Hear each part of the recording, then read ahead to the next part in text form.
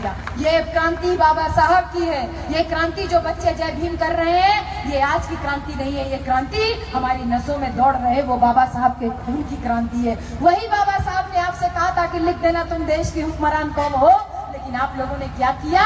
आप लोगों ने तो साई कृपा और ये लिख करके अपने बच्चों को गुलामी की तरफ़ ढकेल दिया। मैं दावा करती हूँ इस बात का कि अगर आज से आप लोग अपने घर में जा करके ये जितना भी आप लोगों ने ताम झाम लगा के रखा हुआ है अपने घर पे, इसको उतार करके केवल इतना लिखवा दोगे अपने घरों की दीवारों पे कि हम बहुजन इस देश की शासक कौमे हैं, हमको इस देश पे राज करना है।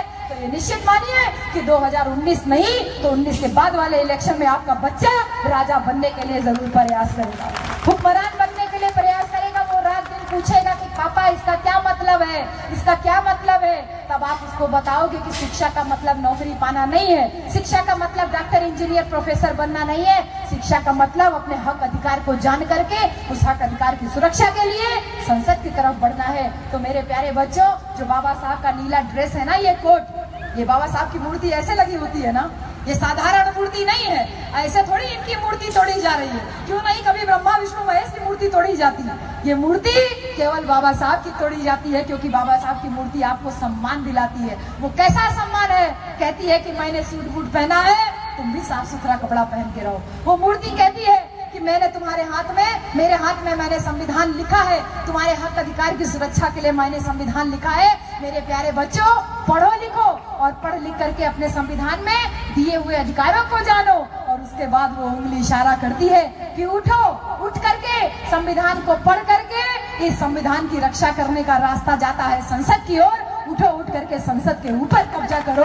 ये उंगली इशारा करती है संसद की ओर। इसीलिए ये लोग परेशान हैं। ऐसे थोड़ी परेशान है। किसी और देवता की मूर्ति नहीं तोड़ते हैं क्योंकि ये बाबा साहब की उंगली बार बार इशारा करती है कि तुमको क्या करना है? तुमको मकान नहीं बनाना है, तुमको घर नहीं बनाना है, बल्कि तुमको संसद के ऊपर कब्जा करना है। इसी वजह से बाबा साहब की उंगली तोड़ी जाती है। तो एक बार सोच के देखो भाई। कि जीते जी भी बाबा साहब इनको उंगली किए थे और मरने के बाद में भी मनवादी लोगों को उंगली किए थे। जो ये परेशान हो हो करके उंगलियाँ तोड़ रहे हैं तो सोचिए कि इनको पुतले डराते हैं जिनको बाबा साहब मरने के बाद डराते हैं तो कितने खतरनाक बाबा साहब की संतानें हम लोग हैं। हम लोग जीते जी तो कम से कम इन लोगों को डरा ही सकते हैं ना। जीते जी तो डरा ही सकते हैं ना तो वो जीते जी आप दौलत बैंक बैलेंस पैसा से नहीं डरा सकते हो। वो जीते जी आप डरा सकते हो अपने बच्चों में, अपने बाबा साहेब और मान्यवर कांशीराम के उस मूवमेंट का इंजेक्शन लगा करके आप जगा सकते हो और कोई दूसरा रास्ता नहीं है। चौदह अक्टूबर उन्नीस सौ छप्पन को जब बाबा साहब भगवान बुद्ध की शरण में गए थे ना तो किसके लिए गए थे? किसके लिए गए थे? अपने लिए गए थे? अपने लिए गए थे बुद्ध की शरण में? आपके और हमारे लिए गए थे। क्यों?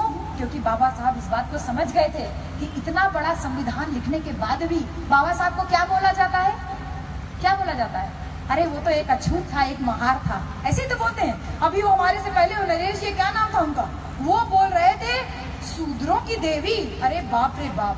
कम से कम अपने महापुरुषों को शूद्रों तक मत सीमित रखो यार। वो उत्तर प्रदेश की चार चार बार मुख्यमंत्री रह चुकी है। वो बहुजनों की नहीं, वो सर्वजनों की नेता है यार। उसको केवल शूद्रों तक सीमित कर दोगे तो कहाँ तक चलेगा? यार, अपना ज्ञान सुधार लो। इतने बड़े मंच पे आकर के बोलने से पहले ये मेरे प्यारे प्यारे बच्चों तक दिमाग में प्रेशर पड़ता है। तो उसको शूद्रों तक मत सीमित रखो। वो आज ऐसी लेडी है कि एक भी सांसद नहीं है, लेकिन प्रधानमंत्री पद की सबसे बड़ी दावेदार है। इतनी बड़ी लेडी को, इतनी बड़ी शक्ति को आप शूद्रों की देवी कह करके शूद्रों